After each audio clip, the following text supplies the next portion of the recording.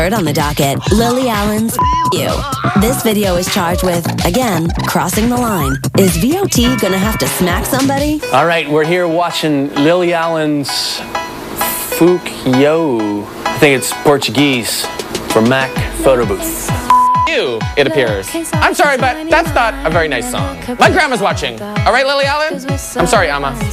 Me? Uh, actually, that's kind of deserved. I did give you gonorrhea. My bad.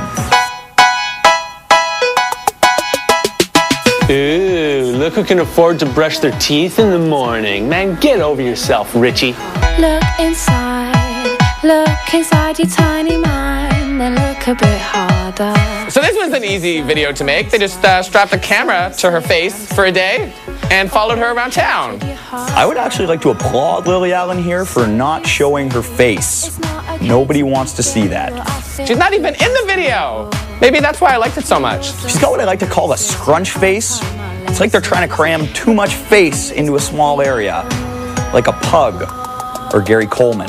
And in this Polaroid, we're privileged to learn what Lily Allen's taking a dump on a hotel floor face looks like. Do you really enjoy living a life that's so hateful? Why do I live a life so hateful? you, that's why. Suck my and come over here, I'll rip your goddamn eyeballs out of your head.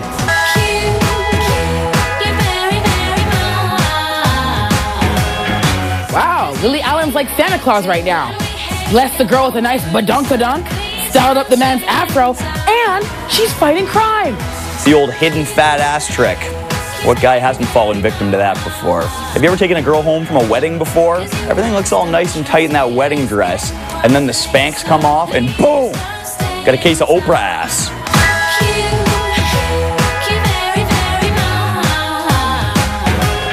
It doesn't sound like she's swearing. It just sounds like she's sneezing. She's like, achoo, achoo. kind of cute, actually.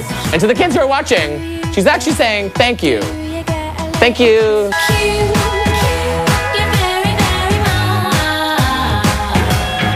Okay, so it seems that she's got the power to uh, like squish people and stretch them out, which is kind of fun.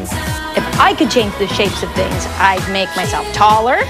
Um, I would make my fingers longer. And I'd make my boobs shaped like four-leaf clovers, so everyone would call me Lucky Tits Laurie. If I could change the shapes of objects like Lily Allen, well, I'd probably do something like she did by twisting those two motorcycle guys. Yeah, I'd twist my girlfriend's fallopian tubes. I do not want that baby. I'd make myself as tall as a skyscraper, then I'd dress up like Godzilla, and I'd go to Japan and I'd be all, I'm back. Uh, actually, come to think of it, Lily, if you can stretch things out, uh, want to help a guy out? I was just kidding about that stuff before. I really think you're pretty. But seriously, help me out.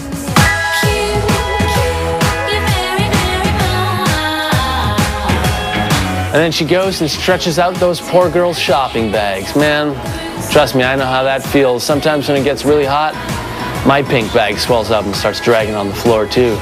Ah, God, it's been so hot lately. I sentenced Lily Allen to go herself. Creative, no. Honest, yes. All right, Lily Allen. I sentenced you to a three-way with Gumby and Pokey. You, you might have to Google that, but they were the stretch people, right? The Gumby and the ah, whatever. You, whatever. You don't know it, whatever. I'm not here to educate you. Clearly, I'm not. Lily Allen, sentenced to magically stretch out her career. It's running out. Fourth on the docket.